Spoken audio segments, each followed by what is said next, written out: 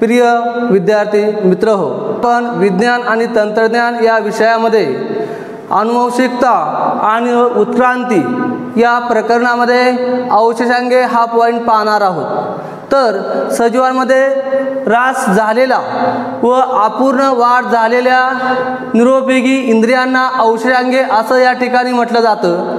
तसंच त्या ठिकाणी नवीन वातावरणामध्ये ऊती इंद्रिय उत्पन्न होऊ शकत नाही. आणि अशा औषधांग आपण विशिष्ट भागामध्ये त्यांच्या शरीरातील रचना त्यांच्यासाठी उपयुक्त असते. भिन्न वातावरणामधील जी रचना आहे ती त्यांना निरुपयोगी आणि हानिकारक असू शकते. तसंच ही जी अवशेषांगे आहेत अशा विशिष्ट परिस्थितीमध्ये नैसर्गिक निवडीने इंद्रिये नायसे होण्यास या ठिकाणी कारणीभूत या ठिकाणी ठरतात.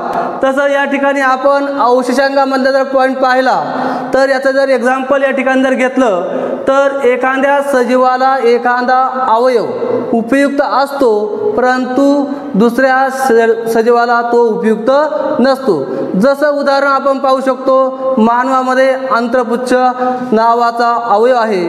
तो आपला उपयुक्त जरी नसला तर इतर सजीवांना कान हलवण्यासाठी त्या ठिकाणी उपयुक्त असतो. सॉरी एखादा अवयव जरी कार्य करत नसला तर दुसऱ्या सजीवांना तो कार्य करण्यासाठी उपयुक्त असतं. या ठिकाणी अंतपुच्छ या ठिकाणी आकृती तुम्हाला दाखवलेली आहे.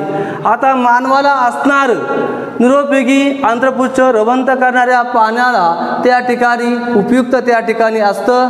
असेच आपण या ठिकाणी मानवामध्ये अनेक प्रकारचे औषंग आपण या ठिकाणी तर असणारे पा पाहिलेले आहेत. तसंच मानवाला निरोपयोगी असणारं कानाचे स्नायू हा आपल्याला निरुपयोगी आहे. परंतु माकडाला त्या ठिकाणी कान हलवण्यासाठी उपयुक्त आहेत. त्याची आकृती या ठिकाणी तुमच्यासमोर दाखवलेली आहे. तर असे जे औषधांगे आहेत माकडहाड अक्कलदाड आणि अंगावरील केस अशा औषधांगाला मानवामध्ये असे निरुपिंगी अवयव या ठिकाणी आहेत. तर या ठिकाणी अक्कलदाडा या ठिकाणी दाखवलेले आहेत.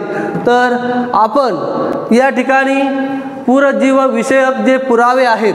जीवाश्म विज्ञान असं त्यांना आपण या ठिकाणी म्हणू शकतो. सुमारे कोट्यावधी वर्षापूर्वी जमिनी या ठिकाणी गाडले गेलेले जे अवशेष आहेत ते आपल्याला या ठिकाणी सांगता येणार नाही. पृथ्वीच्या उदरामध्ये ते दडले आहेत. तर आपण आज असे जे भूकंप ज्वालामुखी यांच्या उद्रेकाच्या साह्याने आपण या पृथ्वीच्या उदरामध्ये त्यांचे जे ठसे आहेत त्या ठिकाणी मोठ्या प्रमाणामध्ये गाडल्या गेल्यामुळे जीवांचे अवशेष आणि ठसे या ठिकाणी सुरक्षित आहेत. त्याला आपण जीवाश्म असं या ठिकाणी म्हणू शकतो. तर या घटकामध्ये वनस्पती आणि प्राणी जेव्हा पावतात जेव्हा मृत पावतात तेव्हा कार्बनचं ग्रहण या ठिकाणी थांबतं आणि तेव्हापासून त्याचा ऱ्हास व्हायला सुरुवात होते. अशा वेळी कार्बन बारा हा किनोसारी नसल्यामुळे त्याचा वनस्पती आणि प्राणी यांच्यातील कार्बन चौदा आणि कार्बन गारा यांचं गुणोत्तर स्थिर राहत नाही ते सतत बदलत असतं. या बदलणाऱ्या गुणोत्तराला आपण कालमापन म्हणू शकतो.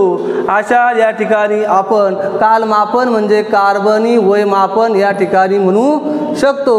अशा पद्धतीने पुरातन अवशेष या ठिकाणी आपण सांगितलेले आहेत. यानंतरचा जो घटक आहे पुरातन अवशेष आणि मानवी अवशेष कारण जीवाश्म विज्ञानाचे जे उपयोग आहेत मानवी अवशेष आणि पुरातन अवशेष या ठिकाणी जीवाश्म विज्ञानामध्ये या जमिनीखाली गाडले गेलेले अवशेष या ठिकाणी आहेत. जीवाश्म हस्तलिखित त्या ठिकाणी यांचा काल ठेवण्यासाठी काल ठेवण्यासाठी यांचा उपयोग या ठिकाणी केला जातो. तसेच अपृष्ठवंशी प्राणी यांच्यापासून हळूहळू पृष्ठवंशी प्राण्यांची निर्मिती कशी झाली त्यातून त्यांच्यामध्ये उद्भव म्हणजे जाती बदल कसा दिसून आला त्याचाही या ठिकाणी जीवाश्म विज्ञानाचा उपयोग आपल्याला सांगता येईल. तसंच कार्बनी वैमापन ही विलाड लिबी यांनी तसंच आपण या ठिकाणी या अवशेषांगामध्ये पुढील जर घटक जर राहिला तर जोडणारे दुवे आहेत.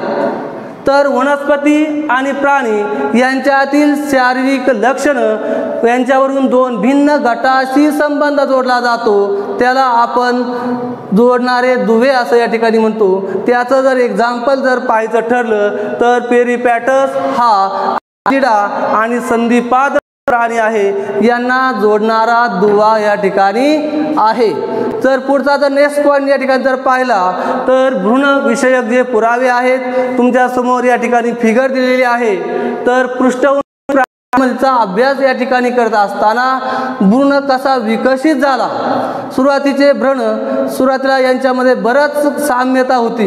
ही साम्यता नंतर कमी कमी होत जाऊन त्यांच्यामधून असा निष्कर्ष निघतो की प्रारंभिक अवस्थेमध्ये भ्रूणमध्ये खूपच साम्य दिसून येतं.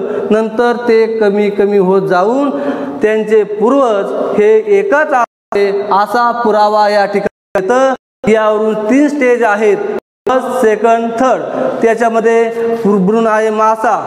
तर तिन्ही स्टेज जर पाहिल्या तर सुरुवातीला जे साम्य साम्य या ठिकाणी सॅलेमेंडर कासव कोंबडी डुक्कर गाय ससा आणि मनुष्य असे या ठिकाणी भ्रूण त्यांचं निरीक्षण करून त्या भ्रूणविषयक पुरावे या ठिकाणी आपल्यासमोर सादर केलेले आहेत. तर येथील पुढचा जो पॉईंट आहे तो पुढच्या तासाला घेतला जाईल. या ठिकाणी मी थांबतो.